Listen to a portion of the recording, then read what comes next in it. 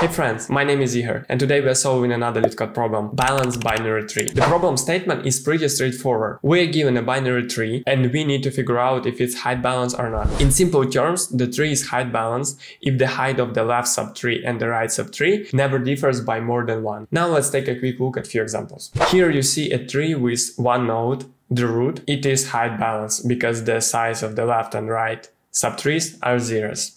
If we add another node to its left, then it will be still height balanced because now the size on the left is 1, on the right is 0. But if we add another node to the left, now the height of the left subtree is 2 and right is 0. So this tree is not height balanced. Let's make it 1 and add another node to the right side. So now we have 2 on the left, 1 on the right it is height balance. And now let's add another tricky example. Here you see if you're looking from the root of the tree, the height of the left subtree is 3 and right as well. So here you see that the height of the left subtree is 3 and it is the same on the right. But if you take a closer look into other nodes in this subtree, we will see that some nodes has height on the left as 0 and on the right as 2. So this tree is not height balanced as well. Remember, each node of the tree should be height balanced. Alright, now let's think how we might solve this problem. Imagine we have this tree, right? Like we've drawn before. The simplest solution that comes to my mind is to just check what's the height of the left subtree for this particular node. I can do it with simple DFS traversal, right? Just go and find the deepest leaf. I will find that, okay, it's one on the left. I will find that, okay, it's two on the right. So the difference is one. This node is height balance. Okay, and then I will go to the left node, we'll do the same, and we'll do this check for each node of the tree. Why this is not the best solution? Because you see, when we start traversing the tree from the root to find out the height of the whole tree, it will take us O of n, because we need to iterate through each node of this tree. Then we repeat this process over and over and again for each node. If this tree will be larger, then we will have here node and here node. We will do this traversal starting from each node, which will take us of n times O of n, which is not optimal and we do a lot of unneeded work. Now let's think about how we can optimize this solution. First, to figure out if the tree is height balanced, we need the height of the left and right subtree. Previously, we calculated it on the fly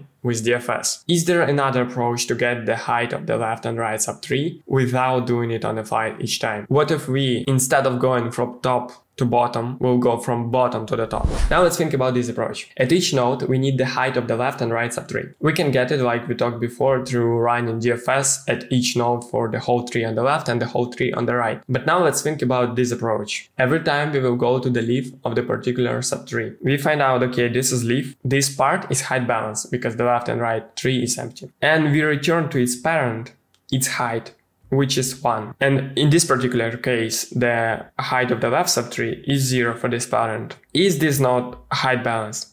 Yes. It means we return its height to the parent. Now its parent knows that, okay, my right subtree has height of 2. And now we repeat the same process for the left subtree. We'll go here, we know it's 1, we return 1, and now we know that this node is also height balanced, so the whole tree is height balanced. Time complexity for this solution will be O of n because we will need to visit each node only once and the space complexity will be O of h for the recursion calls where h is height of the tree, which in the worst case can be O of n. Now let's proceed with the code. Let's define our DFS function. It will take the tree node as an input and it will return the height of this particular subtree or it will return as minus 1 if it already knows that this particular subtree is not height balanced. So it doesn't make any sense to continue traversing other part of the tree. We can just return minus one and do this check. Let's set our exit condition for the leaf. So the height of the leaf is zero. And now let's calculate the height of the left subtree.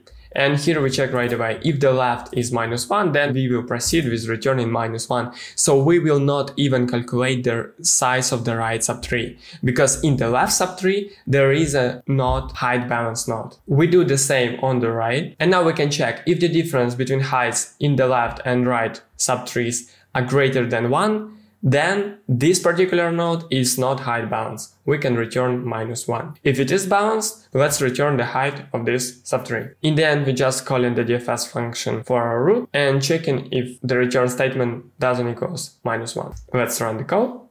It works on our test cases. Let's submit. Yep, we passed. That's it everyone. Today we solved the balanced binary tree problem on the LeetCode. I hope it was helpful for you. If the solution was unclear or you have any questions to me, please leave them in the comment section below. I would like to hear your feedback. Please leave a like and subscribe to this channel. I plan to record a lot of LeetCode videos. Also we do streams on Twitch. So if you're interested in that, please follow me on Twitch as well. And I'll see you on LeetCode. Bye.